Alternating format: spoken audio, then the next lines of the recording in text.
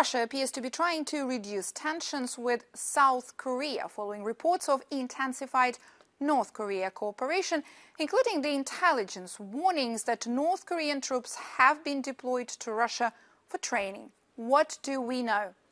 According to Ukraine's military intelligence chief Kyrylo Budanov, the first group of 2,600 soldiers will be deployed to Russia's Kursk region, where Ukraine is holding significant territories following the incursion from the beginning of August. Ukrainian forces recently advanced on the western side of the Ukrainian salient in Kursk region amid continued fighting within and west of the salient. Budanov said that close to 11,000 North Korean troops are in Russia and will be ready to fight in Ukraine by the 1st of November.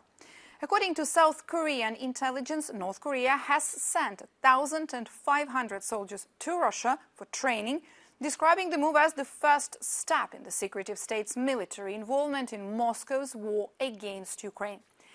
Kremlin spokesperson Dmitry Peskov claimed that Russia-North Korea cooperation, quote, should not cause concern to other states and that information about the alleged presence of North Korean troops in Russia may be, quote, contradictory.